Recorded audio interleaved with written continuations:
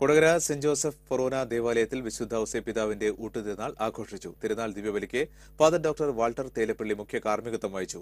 Father doctor Varghese Palathingal വചന സന്ദേശം നൽകി. നേർച്ചകൂട്ടിൽ മുപ്പതിനായിരത്തോളം ഭക്തർ പങ്കെടുത്തു. മന്ത്രി professor C Raveendranath B D Devashree M L A Kodakara ഗ്രാമപഞ്ചായത്ത് പ്രസിഡന്റ് പി ആർ പ്രസാദൻ തുടങ്ങിയവർ തിരുനാൾ ആഘോഷത്തിൽ സംബന്ധിക്കാനെത്തി.